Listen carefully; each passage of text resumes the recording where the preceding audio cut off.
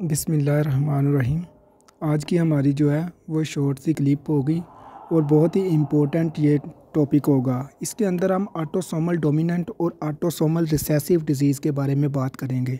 कुछ डिज़ीज़ ऐसी होती है, जिनको हम आटोसोमल डोमिनेंट कहते हैं और वो कैसी होती है? फॉर एग्ज़ाम्पल अगर दोनों फादर और मदर में से किसी एक मदर या फादर में कोई डिज़ीज़ है तो उस तरफ़ से एक डिफेक्टिव कॉपी जो है, वो बच्चे में आ जाए तो उसकी वजह से पैदा होने वाली डिज़ीज़ को हम ऑटोसोमल डोमिनेंट डिज़ीज़ कहते होते हैं। और साइंस ये कहती है कि अगर इन दोनों के दरमियान फादर और मदर के दरमियान चार बच्चे पैदा होते हैं इनके तो इनमें से जो दो होंगे वो डिफेक्टिव होंगे और दो जो होंगे वो ठीक होंगे, क्योंकि इधर फादर की तरफ़ एक डिफेक्टिव कॉपी है ऑलरेडी तो फ़र्स्ट प्रेगनेंसी जो होगी वो सेफ़ होगी, ये सेफ़ कॉपी आ गई। सेकंड में ये फिर ये जो है, ये अनसेफ कॉपी आएगी डिफेक्टिव कॉपी आएगी। ऑटोसोमल रिसेसिव डिज़ीज़ ऐसी डिज़ीज़ को कहते होते हैं, जिसके अंदर दोनों फादर और मदर दोनों की तरफ़ से डिफेक्टिव कॉपी का आना ज़रूरी होता है। और ये आके बच्चे में जो है, वो एबनॉर्मेलिटी पैदा करती है।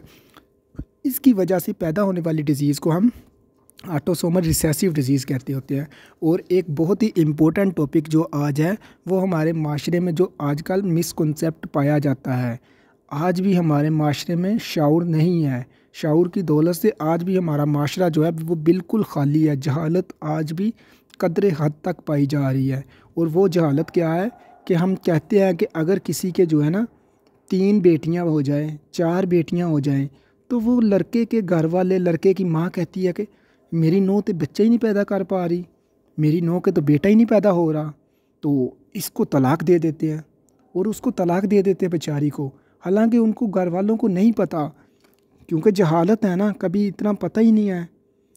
जहालत है, क्योंकि फादर की तरफ़ जो है, वो दो क्रोमोसोम्स होते हैं, एक एक्स होता है और एक वाई होता है, जिन्होंने मिलाप करना होता है। ठीक हो गया, मदर की तरफ़ दोनों जो होंगी, वो एक्स की कॉपी होंगी। ठीक हो गया, मदर की तरफ़ से जब भी प्रेगनेंसी होगी एक्स ही आएँगे दोनों। और फादर की तरफ़ से जब एक्स आएगा तो फीमेल पैदा होगी। ठीक हो गया? बेटी पैदा होगी। और जब वाई आएगा तो ये एक्स के साथ मिलेगा दोनों के, और ये बॉय बनेगा। ठीक हो गया? इस तरह। अब कसूर किसका आ रहा? भाई फीमेल की तरफ़ से तो आना ही एक्स है। उधर तो है ही एक्स है। तो अब फादर की तरफ़ से जब एक्स आएगा तो बेटा होगा। जब जब एक्स आएगा सॉरी तो बेटी होगी। जब वाई आएगा तो बेटा होगा। तो अब किधर गलती आ रही है? तो ये मिसकनसेप्ट है यार, जहालत से निकलें।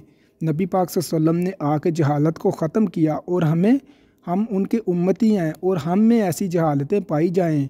तो ये गलत बात है यार। आप अपन आप मिसकनसेप्ट की वजह से सैकड़ों घर जो है वो आज बर्बाद हो रहे हैं। तो ये बहुत ही दिल दुखा इस तरह की सिचुएशनें देख के माशरे में तो आज मैंने वीडियो बनाई है। क्योंकि नबी पाक वसल्लम का अरशाद है कि नबी पाक वसल्लम ने फरमाया, अगर किसी बंदे को कोई चीज़ का इलम हो जिससे इंसानियत की फ़लाह हो सकती हो, भलाई हो सकती हो, और वो बंदा उस इलम को आगे शेयर ना करे तो क़्यामत के दिन ऐसे इंसान की ज़बान में लोहे की आँख से पिघलती हुई लगाम डाली जाएगी। ऐसी ज़ुबान में।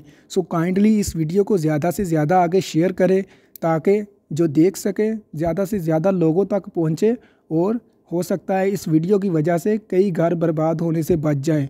अल्लाह ताला मुझे और आपको अमल करने की तौफीक दे।